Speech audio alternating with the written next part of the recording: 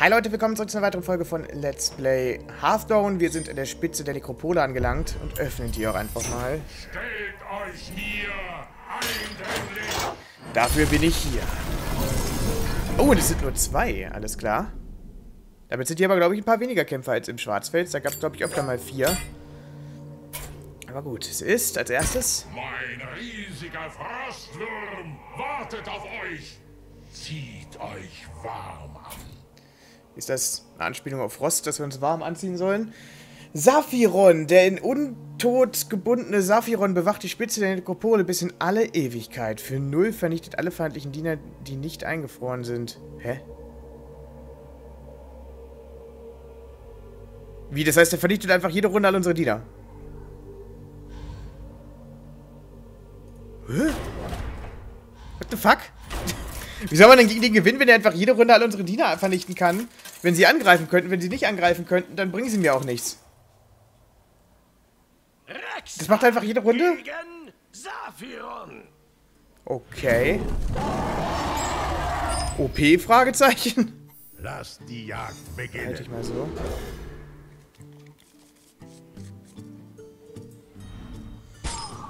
Ah, dauerhaft eingefrorene benachbarte Diener sind immun gegen Frostatem. Schaut euch nur diesen kleinen Gnom. Ah. Er dachte auch mal, es wäre eine gute Idee, hier hineinzuschleichen. Das heißt, die beiden Diener, die ich links und rechts neben ihn packe, können nicht vernichtet werden durch den Frostatem.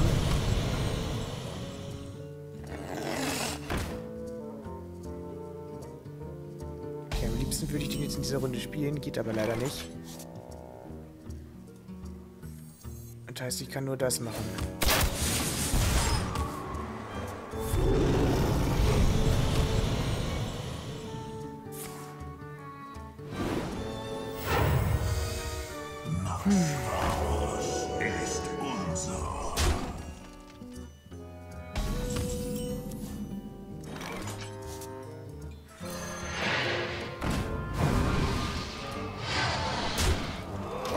Felshunter, ich muss auf sein Gesicht gehen.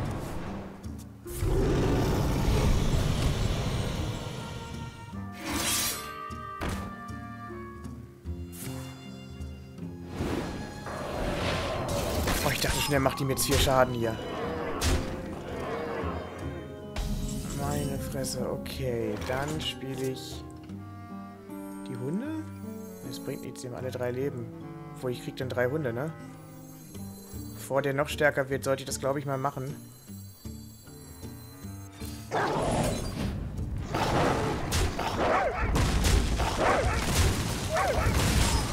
Wobei, der darf eigentlich auch nicht noch stärker werden. Versteckt euch nicht immer hinter diesem Eisblock!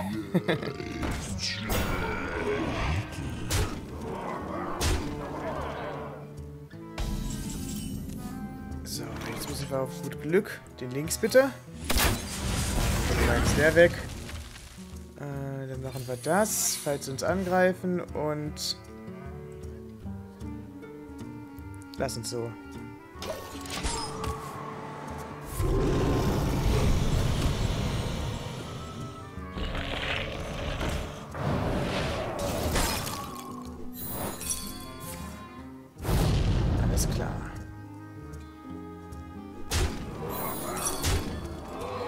Bin ich tot. Die nächste Runde tot. Kämpft an meiner Seite. Yay. Da bringt es mir auch nicht, dass ich auf den kloppe. Ich kann aufgeben. Gut gekämpft. Ich ergebe mich. Oh, das ist echt nicht einfach. Wir hätten aber auch scheiß Karten. Auf ein neues. Also man sollte eher ein Deck mit starken Dienern und dafür aber relativ wenig Dienern spielen. Das ist der Face Hunter eigentlich nicht gut für, aber ich habe mir gedacht, dass die Face Hunter Diener eh alle nicht viel aushalten und eh alle relativ schnell verrecken. Kann ich ja trotzdem mit dem spielen. Ja, das bringt mir alles nichts. Warum kriege ich denn immer nur so Scheißkarten? Habe ich echt so wenig gute Karten in dem Deck?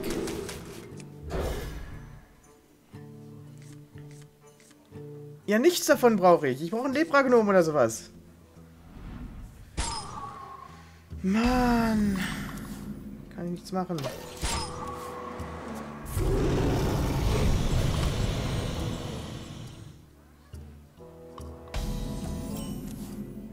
immer noch nicht viel machen, außer dass ich einen Gegner auf die Hand zurückgebe, wenn er angreift.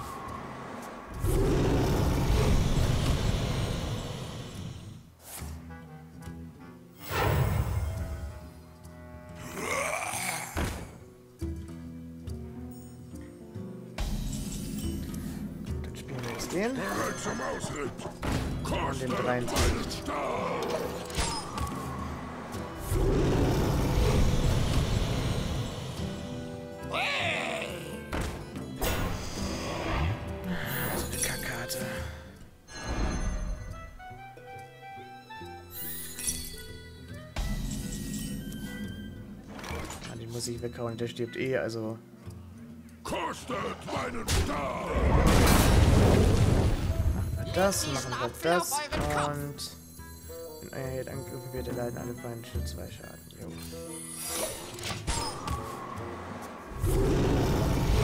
Versteckt euch nicht immer hinter diesem Eisblock.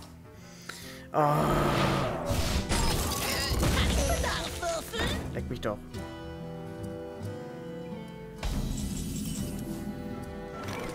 So, so.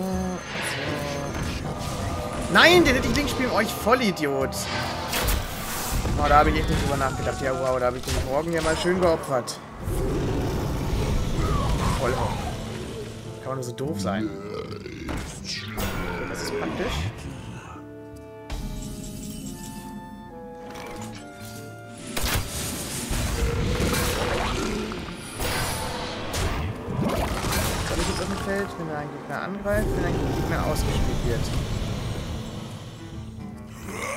Also weg damit.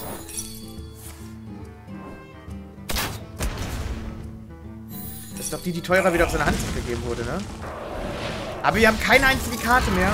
Kein einziges nützliches Ding mehr auf dem Feld. Und jetzt kriegen wir sowas. Wir haben jetzt quasi fünfmal einen Wind geschossen, weil wir nichts mehr haben.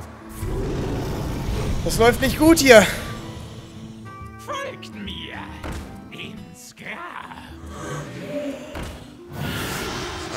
Natürlich eine Mega-Kombo gewesen, die er gerade gespielt hat. So. So. So. Alles aufs Gesicht hauen.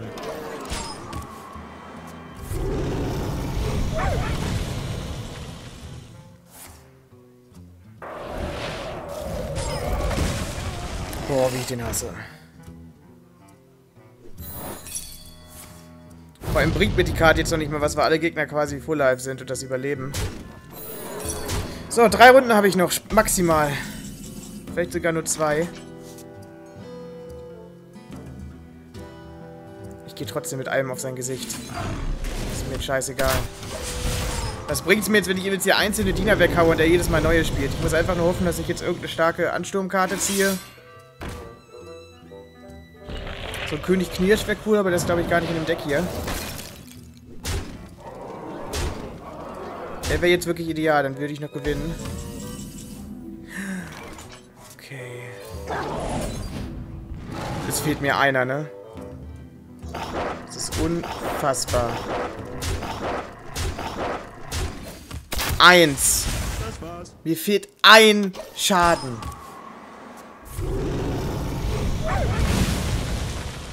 Das ist echt nicht wahr. Saphiron führe den Plan. Das Blut in ihren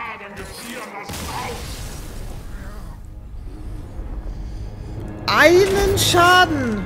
Einen einzigen. Das kann nicht wahr sein. Oh, dann spielen wir halt mit dem anderen Deck. Das ist unfassbar. Ein einziger Schaden hat gefehlt.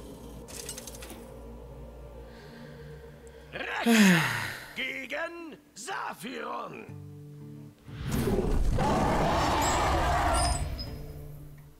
Lasst die Jagd beginnen. mal weg. Zwei Jen können sich eigentlich relativ gut gegenseitig buffen.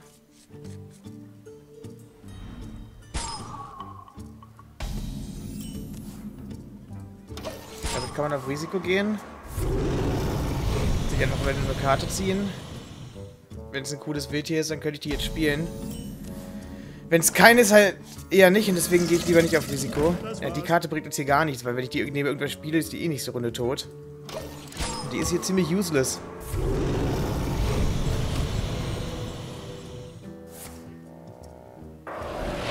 Ach, wenn die Hyäne jetzt dem Feld wäre, ne? Oh, das wäre so geil.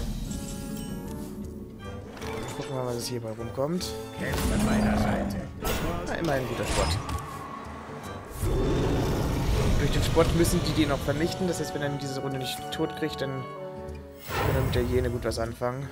Folgt mir ins Grab. Einmal so. Wieso spielt er die nicht links von dem? Jetzt ist der tot! Ich könnte so kotzen. Ich verstehe das manchmal nicht, warum er immer so einen Scheiß macht. Jedes Mal. So, bitte. Da die jetzt eh stirbt, kann ich dir noch Damage machen. Warum das denn? Ich habe hundertprozentig den nach links gezogen.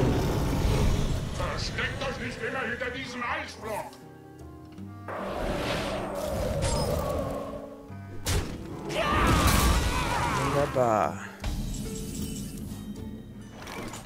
Okay, jetzt gib mir bitte... Ah, die kann ich nicht. Die wird automatisch rechts beschworen. Wie scheiße ist das denn? Dann spiele ich halt dich. Ich greif mit dir an.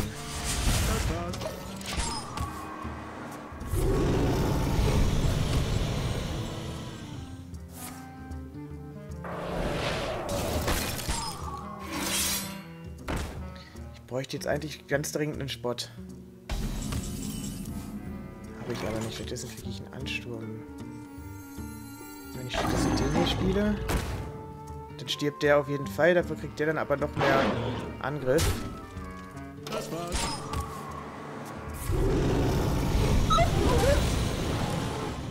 Im Grunde genommen muss er den jetzt weghauen, ne? Wir kriegen dadurch eine Karte. Praktisch, praktisch. Das heißt, auch da hier rechts wieder frei ist, kann ich jetzt den endlich spielen. Kämpft an meiner Seite. Wunderbar. Dann machen wir einmal das. Dann machen wir einmal das. Greifen wieder mit 6 ins Gesicht an. Boah, das ist echt kacke, dass man hier wirklich die ganze Zeit aufpassen muss, dass man nicht mehr zwei Diener aufs Feld kriegt.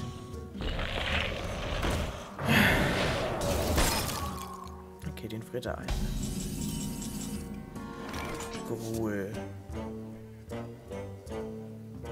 Gruhl wäre cool. Aber wäre jetzt auch ein bisschen useless. Setz dich dahin.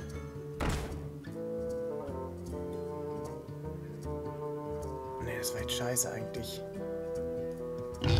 Na geil, ins Gesicht. Ich kann halt die ganzen Karten nicht spielen, weil die immer sterben. Ich hab gedacht, der geht eh drauf, aber ich hätte die Schaden, den Schaden gerne lieber auf ihn gemacht.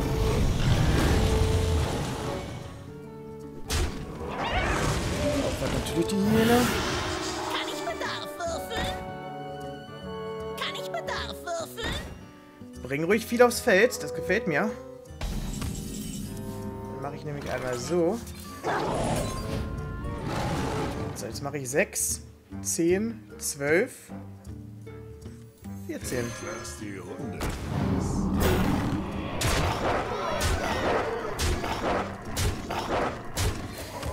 Weg!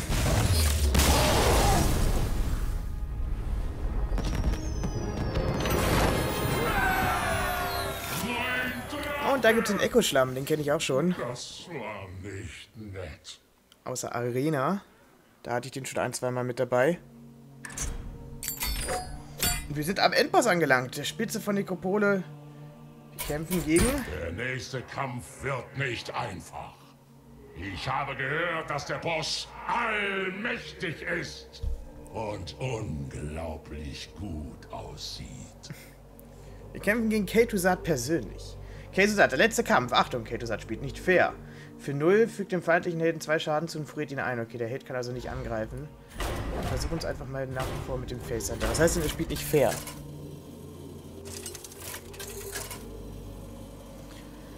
Beagleworth. Keine Ahnung, wer es ist. Rexa gegen Kel'Thuzad. Endlich lernen wir uns kennen. Brauche ich alles Lass nicht. die Jagd beginnen. Wie ihr wollt. Das heißt, er kann es jede Runde ohne irgendwas zu tun. Und hat 10, der kann jede Runde zwei Schaden machen, ohne irgendwas zu tun? Und die Das Waffe war's. bringt uns nichts? Weil wir eh jede Runde eingefroren sind, oder nicht? Ich werde das Blut in euren Adern gefrieren lassen. Okay.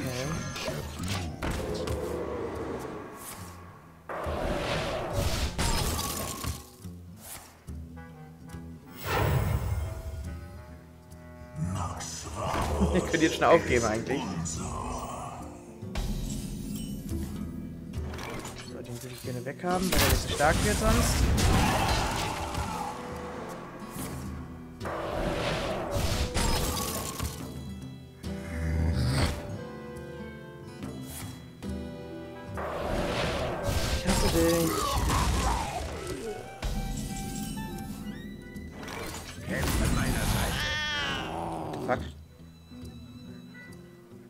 Ernst?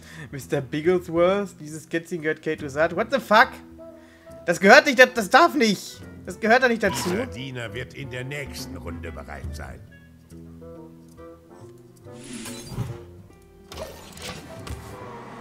Greift ihr das deswegen nicht an, wenn das Kätzchen ihm gehört? Die Verdammten stehen bereit.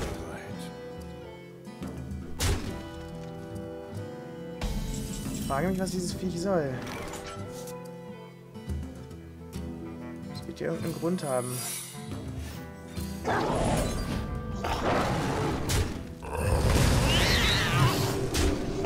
Ich weiß natürlich nicht, ob es schlauer wäre, es umzubringen. Ob das uns was bringt oder nicht. Hier steht da einfach nur dieses Kätzchen wird Kate Sat, mehr nicht. Das kann ja alles bedeuten. Soll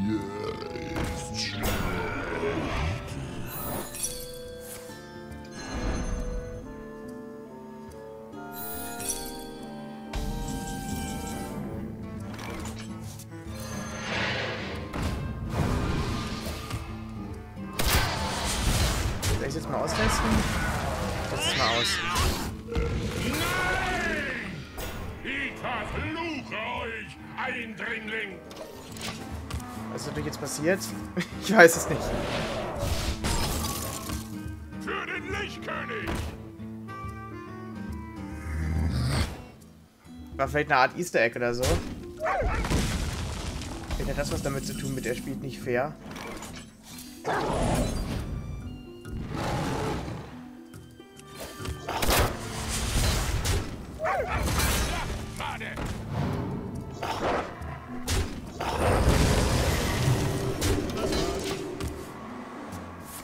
Ich habe aber jetzt keine Karte mehr verhandelt. Also die zählt nicht, weil die uns nichts bringt.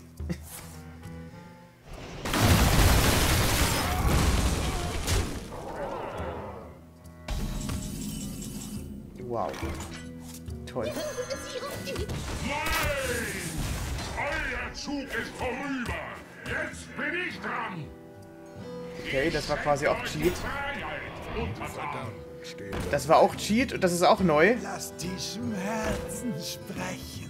Sobald sein Schild durchbrochen ist, kann er also eigentlich machen, was er will. Sobald sein Schild durchbrochen ist, kriegt er neue Heldenfähigkeit, beschwert zwei Spottviecher.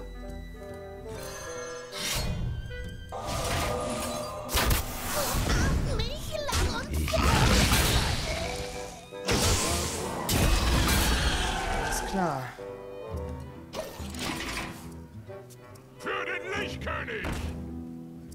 Lass diesem Herzen sprechen.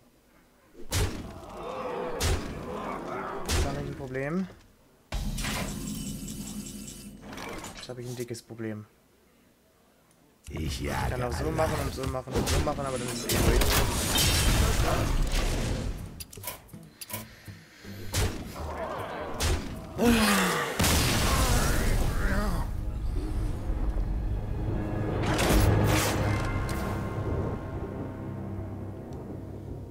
Okay, versuchen wir es nochmal mit dem anderen Deck.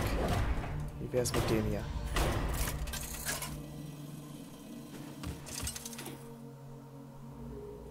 Rexa gegen Kel'Thuzad.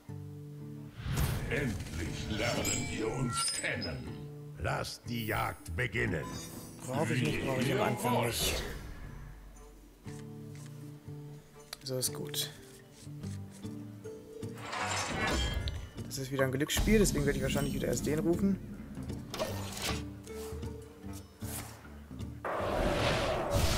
Ich werde das Blut in euren Adern gefrieren lassen. Dann komm du mal raus, mein Freund.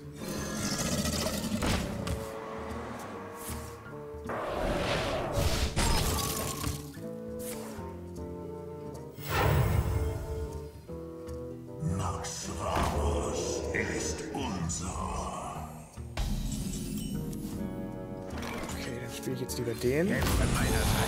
Ach, das ist ja... Oh, habe ich schon wieder vergessen. Die Karte bringt uns nichts. Wenn ihr Spott verleihe, greift er sie dann nicht an?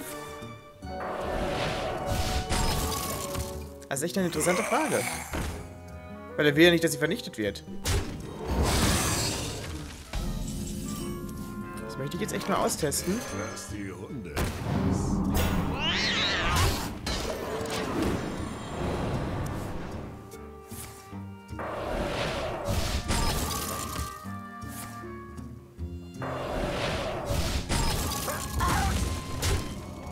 Wie? Hä? Die hat doch Spott! Alter, der cheatet sowas von, der springt einfach über den Spott rüber. Leck mich am Arsch. Okay, dass die jetzt weniger kostet, ist natürlich ziemlich geil. Aber das bringt uns trotzdem nicht so viel.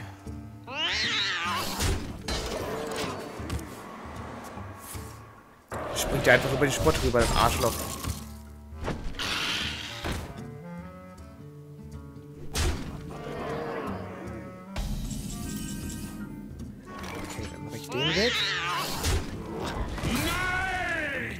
Feld Ich und den aufs Feld. Eindringling!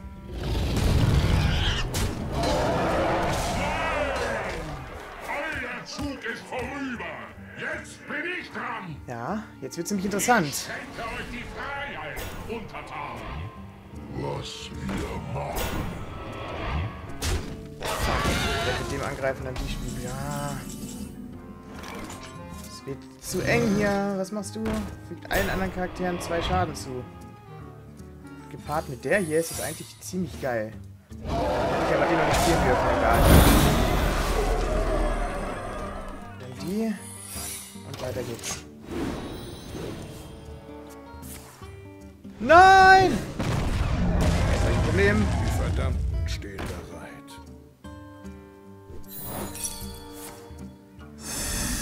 Ja?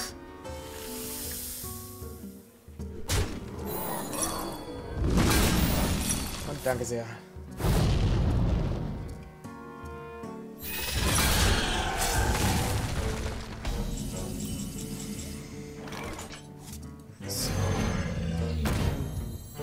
So. So. So. Nein! Ich hätte es andersrum machen müssen, ich voll Idiot. Okay, ja, dann mache ich halt so. Dann so. Ich Vollidiot jetzt andersrum machen müssen, natürlich. Jetzt eine geile Karte ziehen, bitte. Ah, das geht. Bitte. Ansturm. Ach nein, das ist ja die Wichskatze. Ah! Weißt du, das ist eine der wichtigsten Karten unseres Decks, die ist einfach mal unschädlich gemacht worden. Die Schmerzen sprechen. Wir hätten fast gewonnen. ja, jetzt macht er uns platt. Er kann sechs Schaden drücken. Kommt an mir vorbei. Ich ihn hasse. Wie ich ihn hasse. Wie ich ihn hasse.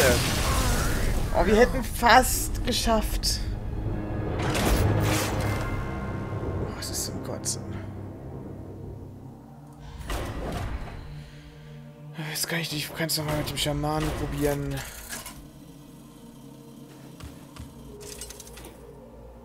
Es nimmt jetzt gerade dieselben Strukturen wie bei. Gegen K-Tuzat.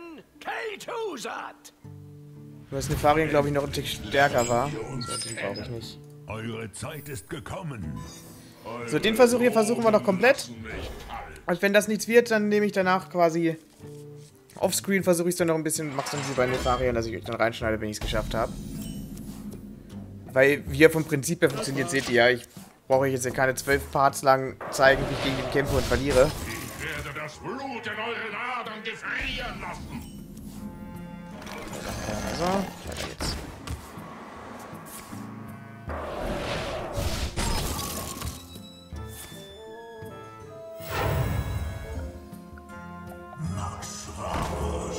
ist unser. Okay, was kriege ich hier? Das Heilungsgewicht, das finde ich praktisch. Nein, jetzt ohne Kein gültiges Ziel.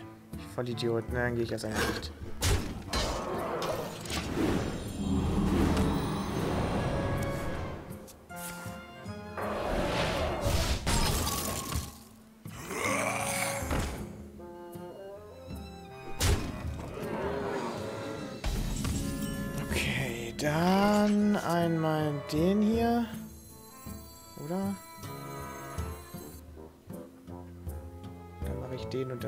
Ich glaube, das ist sogar noch besser, dass ich so mache. Ich habe nicht genug Mana.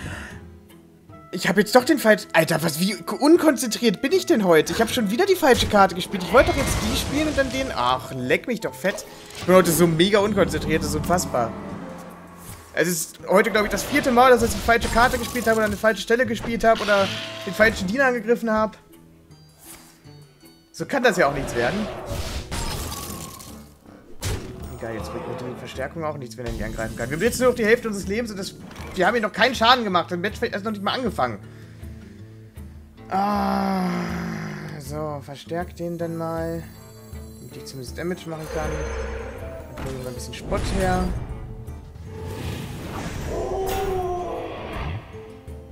Dann greifen wir den mal an.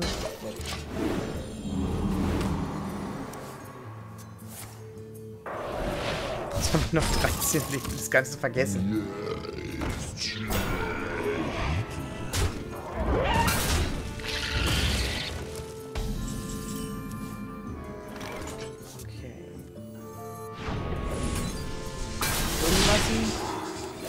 Okay. Herrufen.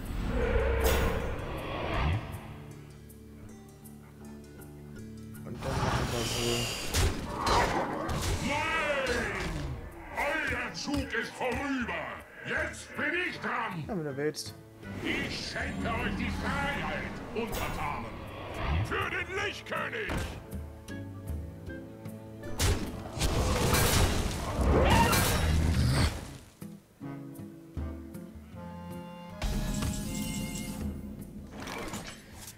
Puh, dann kann ich entweder den und die, den und die oder den und die spielen. Oder nur den. Damit könnte ich zumindest einen davon schon mal wegballern. Aber dann würde er mir immer noch zu viel Schaden Meine machen. Geduld wird nicht ewig. Wie wäre es mit der? Habe ich zumindest eine 8er Spott draußen. ist, glaube ich, theoretisch gar nicht mal so scheiße. Mache ich auch.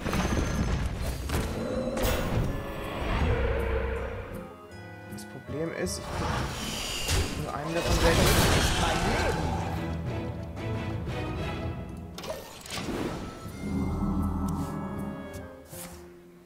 Fuck, damit ist mein Todesfutter besiegelt.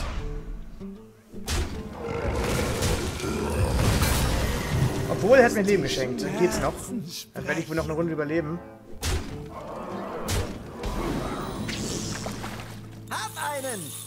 Oh, der hat mir quasi Gruhl geschenkt. Das ist nett von ihm. Ach, das fehlt mir jetzt ein Mana für, dann könnte ich den einfach vernichten. So eine Scheiße. Uh, dann mache ich so. Dann mache ich so. Hey, wie geht's? So. Das wird schwierig. So, den eigentlich weghauen. Das war's. So, dafür haben wir zwei Karten gekriegt. Ob das so praktisch war, ich weiß es ja nicht. Nein, oh, ist das hier wirklich die perfekte Karte für ihn. Was hat er eigentlich für einen Lack? Was hat er eigentlich für einen Lack, dass der jedes Mal die perfekte Karte zieht? Alter. Okay, jetzt habe ich ein Problem. Ich habe keinen Spott mehr auf der Hand. Wir könnten den und den spielen. Warum ist schon Mana weg? Da ist kein Schloss vor. Es ist nicht überladen.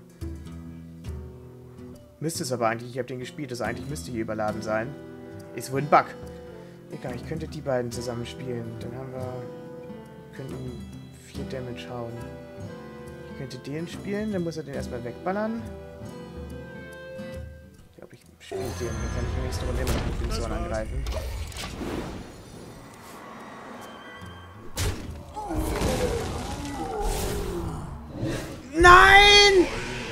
habe ich nicht drüber nachgedacht. Jetzt bin ich, jetzt habe ich mir mein eigen... Oh, nur für eine Runde? Nur für eine Runde. Puh, ich dachte, der hätte jetzt ewig. Alter. Ist keine Heldenfähigkeit, noch kein Zauber. Damit kann ich ihn vernichten. Dann spiele ich den und die brauchen Spott. Dann kann er mir nämlich ruhig einen übernehmen. Er kann mir nicht direkt angreifen.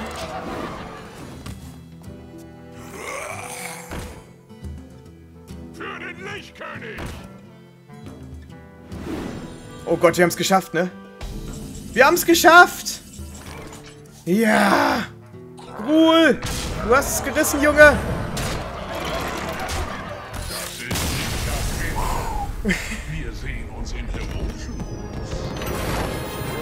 Ja, irgendwann sehen wir uns vielleicht im heroischen Modus, aber so schnell wird er nicht kommen. Dafür muss ich erst noch viel an Erfahrung lernen, an Erfahrung dazu bekommen und vor allem noch viel an legendären Karten dazu bekommen, um hier den heroischen Modus machen zu können. Naxramas Schemen. Verstohlenheit der hält zu Beginn eures Zuges plus 1. Plus 1. Damit haben wir es geschafft. Die Spitze der Nekropole gehört uns. Wir bekommen Kel'Thuzad. Ruft am Ende jedes Zuges alle befreundeten Diener wieder herbei, die in diesem Zug gestorben sind. Das ist eigentlich eine ziemlich, ziemlich krasse Karte. Vor allem, wenn man die hinter Spots versteckt. Kann die monstermäßig schwer werden. Und diesmal mussten wir tatsächlich gar nichts aufs Screen machen. Naxramas. Bezwungen. Und da sind wir die Katze sogar. Die haben wir sogar mehrfach mitbekommen. Kleines Köttchen. Na schön. Dann sehen wir uns beim nächsten Mal wieder, wenn wir die Herausforderung machen. Und ich hoffe, ihr hattet Spaß. Schaltet dann noch wieder ein. Bis dann und auf Wiedersehen.